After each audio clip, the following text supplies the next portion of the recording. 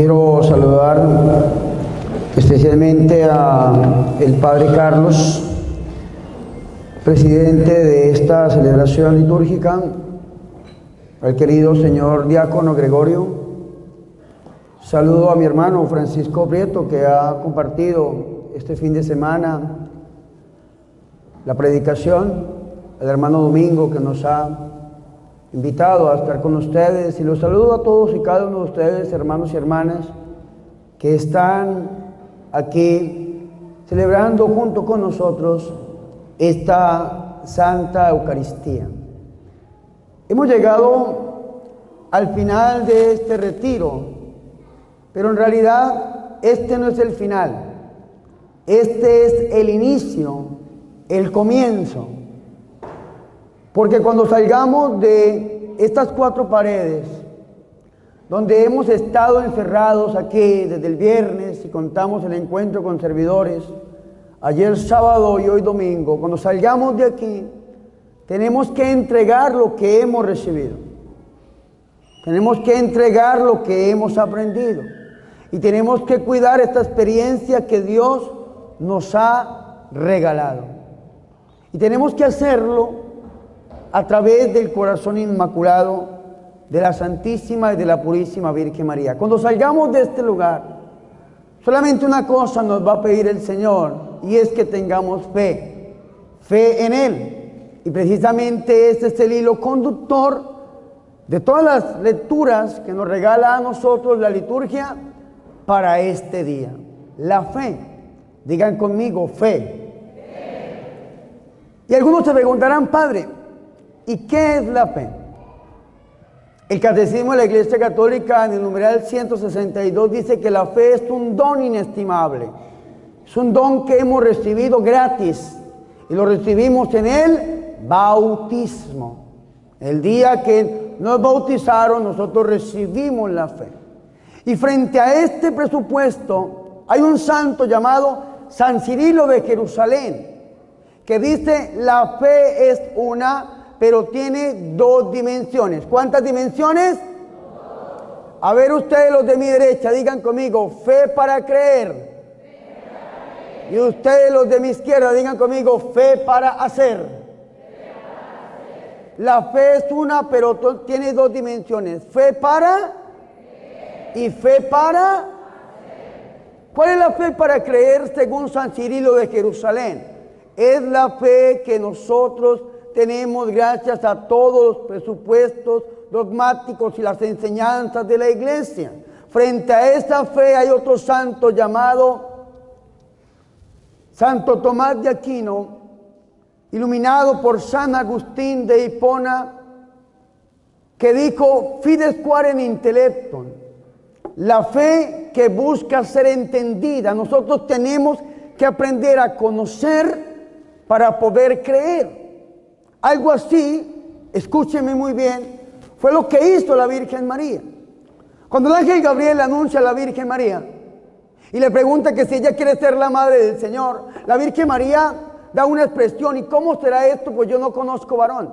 Este cómo será esto viene del griego simbalion y el simbalion significa concatenar, reunir todos los presupuestos para poder dar una respuesta a esta pregunta a esta cuestión dada. Y este simbalion es la raíz que utilizan los antiguos filósofos griegos para el filosofar. La Virgen María pensó, la Virgen María profundizó. El Fides Quaren Intellectum también de San Anselmo de Canterbury lo llevó la Virgen María a todo su esplendor. La Virgen María sencillamente, escúcheme muy bien, puso su razón humana frente a la pregunta del ángel. Y después da una respuesta, una respuesta en fe. La respuesta que la Virgen María da después de asumir esta pregunta es la respuesta que nosotros conocemos. Sí, he aquí la esclava del Señor. Fia voluntas tua se dice en latín. Esto fue lo que dijo la Santísima Virgen María, el Jimenia Donai hebreo, el, el amén que llamamos nosotros. Pero después de qué? De haber escuchado. ¿Después de qué? De haber aprendido, de haber comprendido lo que le estaba diciendo el ángel. No dio una respuesta por decirla, fue una respuesta concisa después de un razonamiento preciso. El Simbalium. frente a este presupuesto. Una fe para creer. Y nosotros, esta fe para creer, la tenemos que adoptar, como dijo el Papa Benedicto XVI cuando citó el año de la fe, conceptos claros para una fe clara. ¿Por qué tenemos que tener conceptos claros? Porque hoy en día todo es relativo. Todo es relativo, ser o no ser, dijo René Descartes, ser o no ser, todo es relativo. Entonces nosotros tenemos que tener conceptos claros, no lo que se cree y lo que se dice, sino lo que piensa la Iglesia Católica de sí misma. ¿Y cuánta gente allá afuera? Repitiendo fundamentos protestantes y repitiendo fundamentos del mundo, creyendo que hacen parte de la misma fe. Y cuando vamos nosotros a estudiar nuestra fe, entendemos que las cosas no son así. Queremos conocer la fe, tenemos un regalo para este mundo contemporáneo. Nos lo dio el Espíritu Santo a través de el Papa San Juan Pablo II. Se llama el Catecismo de la Iglesia Católica. ¿Cuántos de nosotros nos hemos leído el Catecismo de la Iglesia Católica? Y la respuesta es penosa. La respuesta es penosa.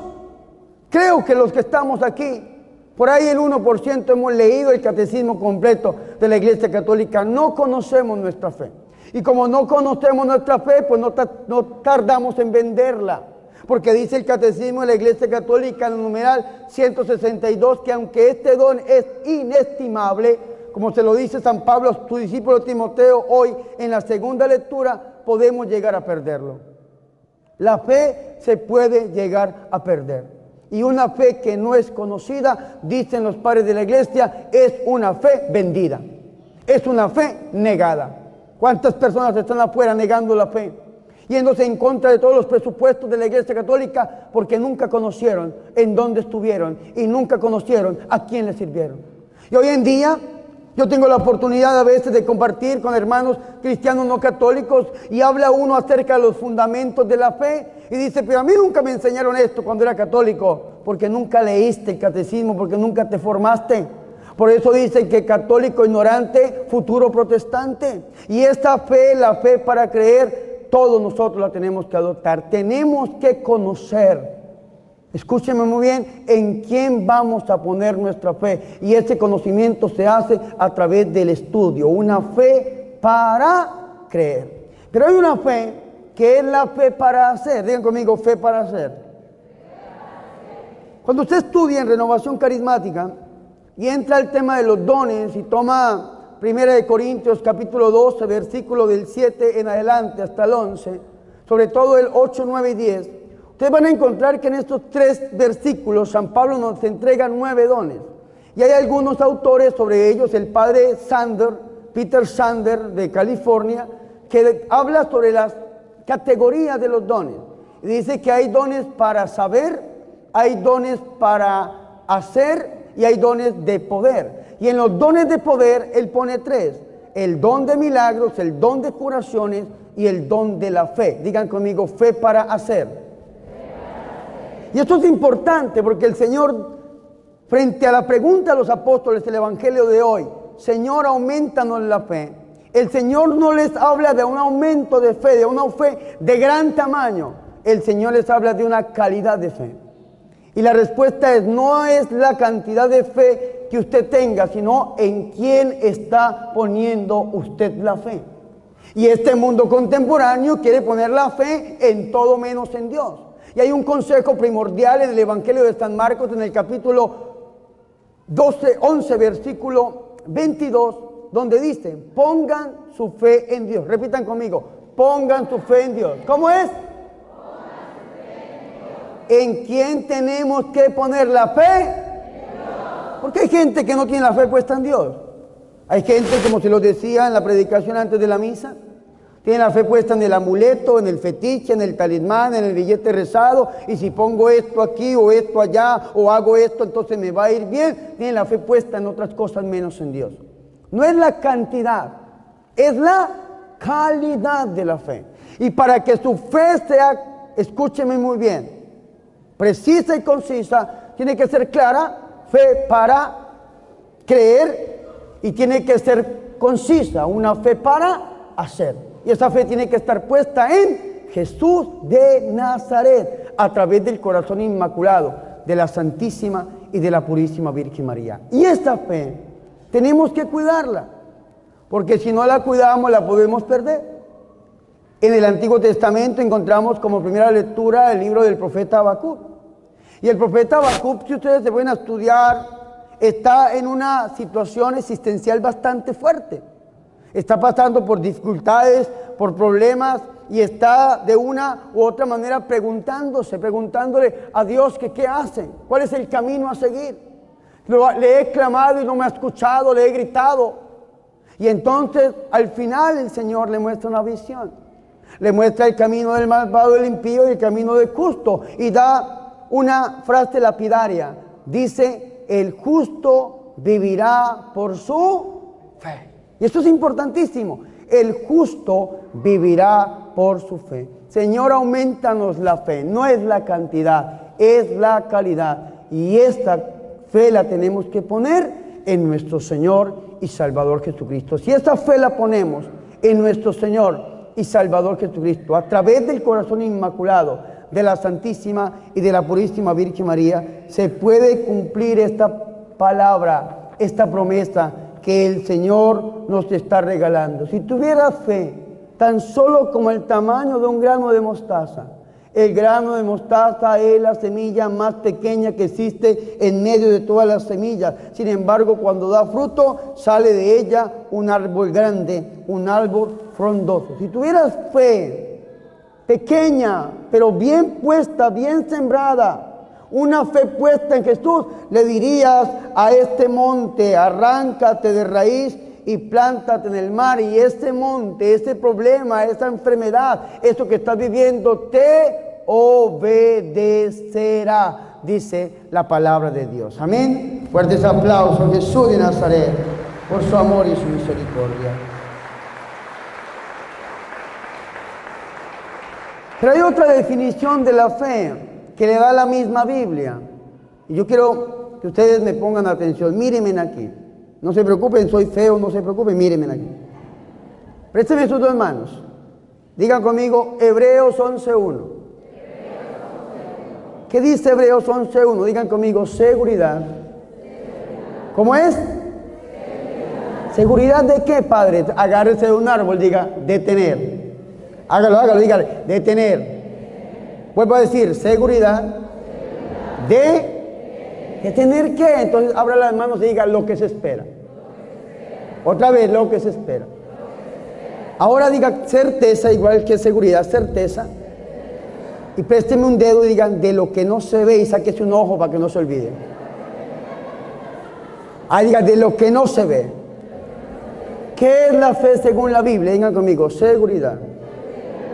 De lo que ser de lo que no. Esto es fe. Es una plena seguridad de tener lo que se espera. Es una plena certeza que aquello que nosotros necesitamos va a suceder así no lo estemos viendo. Pero no debemos divagar, caminar en el vacío, sino que nuestra mirada tiene que estar puesta en quién? En Jesús de Nazaret. Nuestra fe tiene que estar puesta en Él y no se preocupe, que dice la Biblia que nunca se ha oído que alguien que ponga su confianza en el Señor salga defraudado y usted y yo nos vamos a ser los primeros. Amén. Fuertes aplausos a Jesús de Nazaret.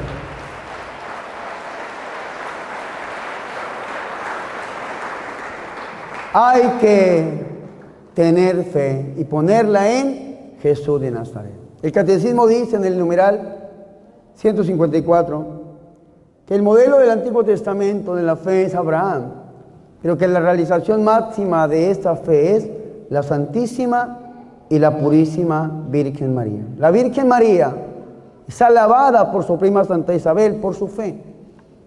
Lucas 1:45. Feliz tú la que has creído, mujer de fe, que se van a cumplir todas las promesas que te fueron dichas por parte del Señor. Ella creyó con todo su corazón. Sigámosla a ella. Aprendamos de ella. Aprendamos de nuestra Madre Santa, pero sobre todo pongamos nuestra fe en Jesús de Nazaret. Ella lo hizo y no salió defraudada. Algunos creyeron que había sido defraudada. Hay una, una mística que habla acerca de las personas que creyeron que la Virgen había quedado defraudada en la cruz del Calvario. Porque su hijo estaba muerto y ella había pasado por esta humillación tan terrible como es tener un familiar crucificado. Y muchos ponían el dedo sobre la Virgen diciéndole, mira, pusiste la fe y fuiste defraudada. Sin embargo, la Virgen María sabía que Dios no la iba a defraudar. Y esperó hasta las últimas consecuencias. Tanto que dicen algunos que fue la primera testiga de la resurrección de Cristo. Y cuando su hijo resucita, se encuentra con su madre ya resucitado y la encuentra con una fe intacta. La Virgen María nunca dudó, nunca, absolutamente nunca. María, Virgen María, mujer de fe. Aprendamos de ella. Aprendamos el camino que la Virgen María nos ha marcado a todos y cada uno de nosotros. Y sigamos a la Santísima y a la Purísima Virgen María, que ella nos toma de la mano y nos lleva hasta su Hijo, nuestro Señor y Salvador Jesucristo. Gloria al Padre, al Hijo y al Espíritu Santo como era en el principio, ahora y siempre, por los siglos de los siglos. Amén. Fuertes aplausos a Jesús de Nazaret.